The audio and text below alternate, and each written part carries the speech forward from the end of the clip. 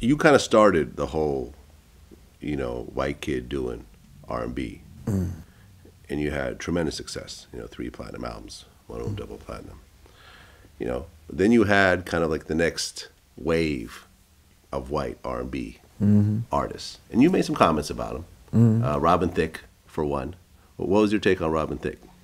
Robin Thicke uh, was he was actually he came up the same ERG basically. Uh, he was signed by Babyface and signed by um, Oh, really? He was signed by Babyface. yeah he was signed by Okay. Babyface and, and Andre Har- uh, Harrell. Okay. and um, it was a trip to watch my career kind of like be sort of like fall into this hoopla of like you know who's gonna who the label is gonna be and if they're gonna be as supportive as as epic was and if we're gonna have as clear of a run as we had every all you know it seemed like there was a real I was catered to at Epic, you know, that to not have that sort of that same energy with my career and to watch it happen for someone else was definitely a challenge for me. It was it was humbling to watch another guy kind of come into the scene and sort of like everyone was asking, "What do you think about Robin Thicke?" in every interview I ever did Right. Which actually is kind of cool. We actually just ran into each other. We did a show together not too long ago in Baton Rouge, Louisiana. It's been all these years we've never met, Oh, really? and we just ran into each other. I said, you know, he asked me, he's like, so you know, what about that? We we talked about, you know, basically we were, we were brief about it, but I said, I've had to talk about you in many interviews. As you're And talking about and he goes, now. "That's gotta suck," and I was like, "It absolutely kind of does," you know. But I nevertheless did it, you know. And, so, and I try to be as respectful as possible because I think people want to pose like almost like fighters against each other. Like this guy's a good fighter. This guy, I want to watch him fight.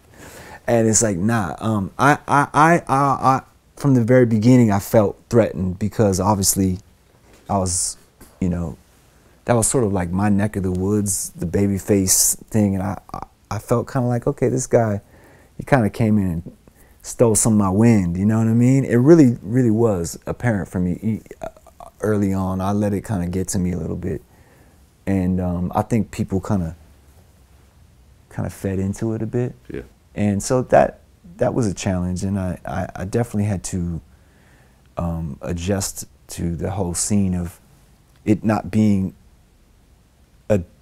a, um, a new thing to be a white guy in r&b that there was other guys that were in this thing too that were Yeah. doing this thing and now you, you were going to have to deal with you know sort of being compared to them and Mm-hmm. vice versa i wonder if they were ever asked about me though in their interviews you know what i mean But well, you've actually offered to to battle Robin. Oh no, let's not talk about that. No. Because they're actually like cool. Like, We're actually cool, yeah. We- Well, we but I mean, I mean, just because you're battling doesn't mean you guys aren't cool. Oh, Like, you know what? I, am think compa- that- I'm I think competitive you're with, talking with about, other people. Yeah, you're talking about what? Probably 2006. I said something like that. Well, like know, a- I- like a piano I actually versus grew, piano I actually vocal. grew my hair long. You know what I mean? in spite, in spite of Robin Thicke, because he had the long hair. Remember? No, no. You know, it's all. It was all. Anything that was said was said in jest and complete. Like I think I was making, making fun of the fact that we were both white guys, you know what I mean? We should have a contest with who could, you know what I mean? Something funny like that. And back then it would have been it would have been funny. I would love to do a song together. How about that? And just Yeah. let's leave it at that. And that would be a dope collaboration. Rob, Robin Thicke is dope, man. He absolutely I mean, blurred is. lines. I, goes that, doesn't as, uh, really def- define that doesn't define him though for me. I think when I hear a record like the first song that he came, well, the first song that I really recognized him for was "Lost Without You." Beautiful, beautiful ballad, and uh, his falsetto is amazing. But why are we talking about Robin Thicke though right now? Anyway, let's talk about something else. Fair enough. I'm a fan of both of you guys. Thank you, brother. You what I mean? I- I- Big up Robin Thicke, though. You know what I mean? Keep doing your thing, man. Let's smash, smash, you know, smash the game, man, with more soul music. It's just great feelings that the people can enjoy, man. Yeah, man. Leave something special behind, you know? Well, you continue to put out projects. Uh, you know, after after Stronger Every Day, you put out Holiday Wishes from Me to You, Helpless Romantic in 2008, Comfortable Swag in 2012. And at that point, you, you're pretty much independent. Yes. so much has changed um, since the days of being signed to labels and putting out CDs, actual tangible items in where, where do you buy a CD now? Where do you actually go to buy a physical unit of like how is it sold now? It's not CD. It's, it's e- Amazon, Craigslist, eBay. you might find one. Oh, Street there's a place called Amoeba. Amoeba, yeah, Rasputin's. It's like you're right. Right. It's like some guy who's got my stuff on reprint. He's Right. he's like vinyl company. I don't know. You know, the thing is like every you can't really compare the game back in the '90s to the game now. You know, because it's apples and oranges. It's just it's you can't fuse the two. But what you do have to do is adjust the times because otherwise you're going to be a dinosaur. So you know, you see the necess- You look at a guy like me. Looking at social media. You know, what do you mean? Uh, my social media numbers, how many friends I have. Like, well, I sold millions of records. Like, people stood in line and un- took the time to unra- unwrap the plastic that was so hard to get off the CDs. you know what I'm saying? The time it took to get that off, be like, by the time you got off there, you were like, all right. Yeah, it probably sounds good by now. You know what I mean? All that work up No, there. yeah, you're opening up the thing and you're checking out the lyrics and you're looking at the, you know, the, Production, pictures, production credits. the production credits, Yeah. the, the the pictures. I mean, it was a it was an experience. It was a visceral experience. and and you had to spend like sixteen dollars on it, and especially It was a commitment, You know, one- and I- one time. Like like in high school, I remember it was like okay, you know, I had a job in high school, and I could buy one or two CDs, you know, a week yeah, if I had the money, and it's like I had to make that that purchase count. yeah. You know, you can't just stream whatever you want the, the whole month. You had to. Okay, I'm going to buy this, and You I hope I it's good because there's, there's no return policy at yeah, Tower right. Records. Right? yeah, We're stuck with it. Yeah, yeah, absolutely, man, absolutely. I think it was much more of okay. I'm going to make this commitment right now. Buy these, you know, 12, 14 songs, whatever Mm-hmm. it was. And as an artist, it was very validating to have this many records be, you know, pushed at one time.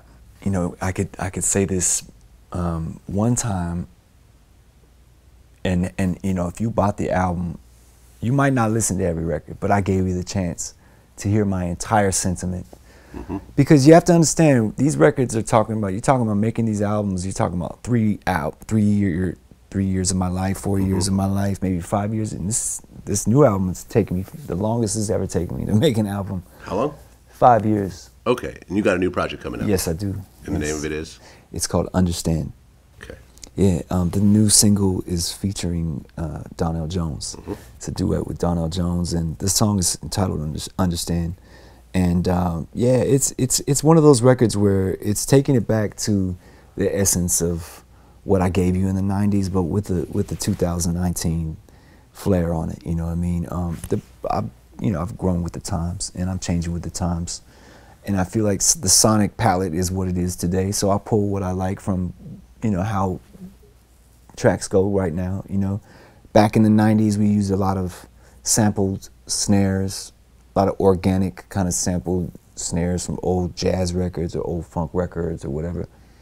Right now, we're in a very much a machine sort of TR 808 kind of a phase where we, we like the 808s pretty much tough. Right. you know? Sampling's too expensive these days. I mean, it's just it's it's, it's sort of obscure. The more the boutique style music Right. Uses that kind of stuff, and I love it all. Yeah. So I, I take what I want from, you know, I let the times influence me how I want, you know, and Yeah. um, it's like I cherry pick from the for the best. I, I love you know production of Travis Scott. I love Yeah. the ambience in, in, in today's music, you know, with the mixing and a lot of the new tricks that this, you know, it's like the new sonic palette that these kids have is a is a is straight up my alley. I love it. I mean, I love the you know the the um, the Post Malones, the Weeknds. Anybody who has this sort of darker sounding R and B, I love it because it's bringing something new that didn't exist. Um, yeah. Well, I mean, as someone who has kind of a collection of what I consider timeless music, Thank you. I mean, you've been touring this whole time, I'm sure. Yes, touring is the you know the main bread and butter of what I do. Yeah. And as well as you know when it when it all comes down to it, you're talking about your songs. So what better way of being able to celebrate your music uh, than to actually perform the songs? You know, and be able to continue to sing those songs. even if you have one or two records that the world knows and you just go out and sing a bunch of covers, that's still rewarding. But let alone I've been able to have, you know, a lot of records. So my album, I can, you know, I can go through now about nine albums now of record. I think it's eight or nine albums I can go through and sort of cherry pick from each album and I can give you about 90 minutes or more of music, you know, and not flinch. Yeah. You know, and it's it's, uh, it's been amazing because the fans kind of come up to the shows, you know, with such a vast knowledge of of everything that I've done, and I just feel so blessed in that sense of like that they even know that I did a collaboration with Nas or I did a collaboration with Guru or, um, you know. So yeah, it's it because that you know to me it's about the music and it's about what I'm gonna leave behind. You know, Yeah. with this music, it was never for me about being like famous for being like a sex symbol or being like a, a guy who did anything but music because I'm not a good dancer. You know what I mean? So Jon B, man, appreciate you coming in. Thank you, my brother. Uh, like I said, you. man, a very dope catalog thank you, my man. with, with Appreciate timeless music that will continue to, to resonate long after all of us are gone. Thank you, my man. You know, I mean, I, I know with what I do, I try to, I think about that. I think about what am I, I like the interviews I'm doing right now. Mm. How are people 100 years from now going to react to them? I hear you. You, you know what I'm saying? That- Absolutely.